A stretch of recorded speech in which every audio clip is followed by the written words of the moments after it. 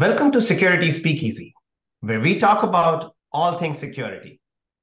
Today, we're talking about the role of identity in Zero Trust.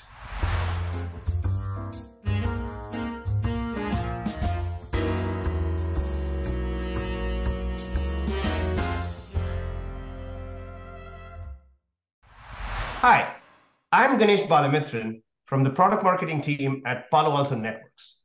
Today, we've invited Imran Bashir, Director of Technical Marketing for Network Security, to join us for this episode of Security Speakeasy to talk about the role of identity in Zero Trust. I'm really excited for this opportunity to dive into identity with Imran. Thank you, Imran, for joining us here today. Thanks, Ganesh. Excited to be here. All right, Imran. So zero trust seems to mean different things to different organizations, or at least the application of zero trust principles. In as simply as you can state it, what does zero trust mean to you? Thanks, Ganesh. So first look at how Palo Alto defines zero trust. The way we define zero trust is that basically secure an organization by eliminating any implicit trust in the system or in the network. And secondly, continuously validating every stage of digital interaction. So let me elaborate a bit on what this means, right?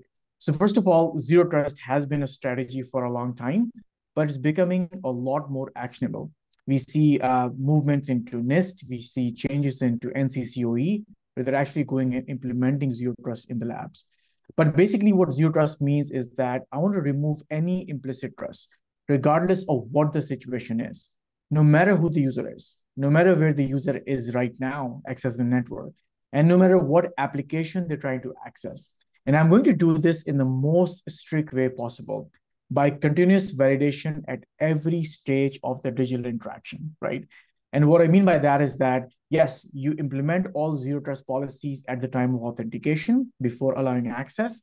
But what happens when the user is actually accessing those applications? So to make sure that zero trust is not applied at the time of authentication, but actually uh, we check it all the time, even during the, the digital interaction that's been happening from the user to the device. So you're essentially running the same security regardless of the situation, regardless of the user, and regardless of the device as you go through that. Thanks. Um, you talked about both uh, authentication as well as continuous inspection. Uh, what role does identity have in zero trust? Is it relevant for both these pieces? Excellent question. So the way uh, we look at is that identity is one of the key pillar in implementing a meaningful zero trust policies because now you're authoring security policies based on the user, the device. Hence, identity is super, super critical as we start there. And what, what we've been seeing is that most of the organization that we work with they're actually starting with identity, right? And just look at INT, it has, has changed a lot over the years. For example, as you know, that security teams have been rapidly seeing uh, the change in the network perimeter, expanding from just a single campus secured by, let's say, a firewall uh, for a hybrid environment, and then spanning into like headquarters, branches, data center, and even private and public uh, workloads, and not to mention these remote workers. Now, the problem is that if if the workforce is contained in an environment, then it's easy. Like you go to one identity source and you can solve that identity problem within that environment. But as we said, this hybrid workforce is now driving the need to have a disparate identity across the world. For example, you could have identity on-prem by using an AD LDAP, or you can have identity to secure your SaaS application uh, because they have these needs to MFA and single sign-on which means now you have multiple sources for identity, right? That's why uh, the, the problem of identity is basically not attaching to one source, but now dealing with multiple sources and still authoring those zero trust policies, which are always in sync. For example, if I go to AD or if I go to a cloud service, for example, any cloud IAM provider, and if I change the, the user to group membership, then I need that change to be reflected across my network in my enforcement point within minutes. And that's how we define zero trust, right? Hence, to, to coming back to your question, Ganesh, identity is super important. It is a piece that a lot of organizations are solving. And um, Palo Alto has, has a massive portfolio, for example, user ID, device ID, and different hooks where we actually we can go and attach to multiple IAM providers and keep all that data in sync all the time. And as I mentioned earlier, if you go and change anything in these IAM providers, either user attributes or group membership, or even if you have multiple formats, for example, using email address authentication or username authentication, we can normalize all of those attributes and come back and give it to our enforcement point within minutes to make sure that zero trust is actionable and it is working in practice. Nice. So pretty much identity is integral to to zero trust from the way you're describing it like every piece of uh, zero trust is dependent on organizations having a great uh, fundamental identity architecture. Um, so this is our second episode on zero trust. Uh, can you speak to some of the changes since the last time we did a security speakeasy on zero trust? Has identity gained an importance? Like, is this a bigger deal now? Absolutely. I mean, if if you look at from a bigger lens, from a zero trust, a lot has changed um, since we last talked about that for example, I'll, I'll, take a step back and, and just go through the order. But uh, like in May 2021, the White House uh, sent out this executive order for its entities to go and start implementing zero trust.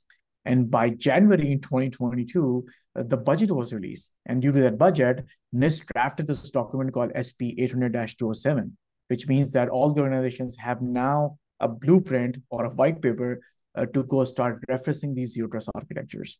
Now, what has changed since since last time we met?